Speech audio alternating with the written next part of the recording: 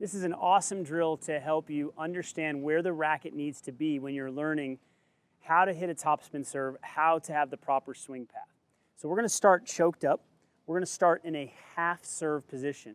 Now, not the half serve position where the racket is back like this. The half serve position with the racket and the hand on this side of the body. Now notice where the strings are. They're facing down towards the ground. They're not open like this. I see a lot of players doing this especially if they have a forehand grip. But even with a continental grip, I see people starting with the wrist cocked.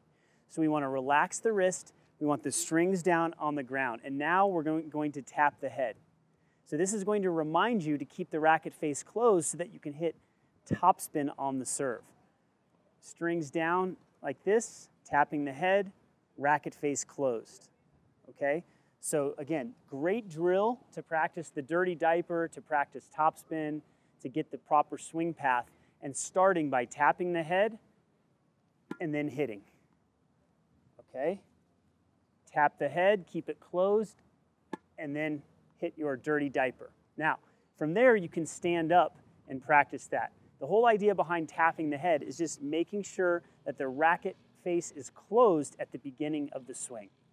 I've got a powerful serve drill that I want to share with you and it's one that I don't hear a lot of coaches or players talk about, but it's one that I use in a lot of my lessons because as a as a coach that's obsessed with helping players with technique, I need to make sure the technique can change without having to worry about the ball going in.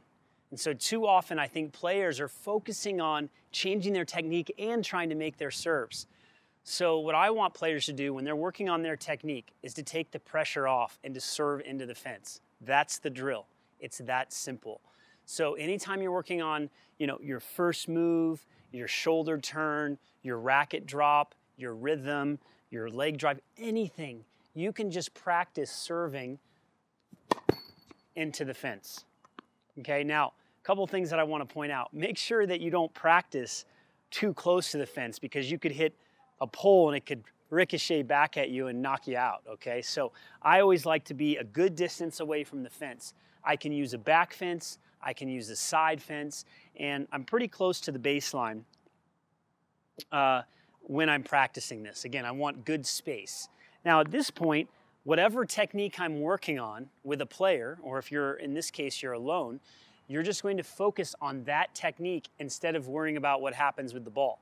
So you're just going to hit the serve and you're going to work on whatever it is that you're focusing on.